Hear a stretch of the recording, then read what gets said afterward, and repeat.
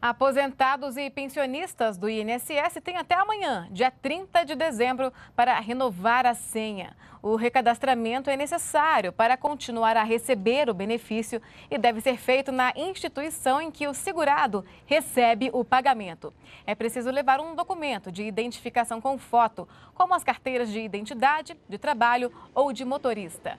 Caso esteja impedido de ir à agência bancária, o beneficiário deve ter um procurador devidamente cadastrado no INSS. A Federação Brasileira de Bancos, FEBRABAN, informou que os bancos não terão expediente ao público na quarta-feira, dia 31.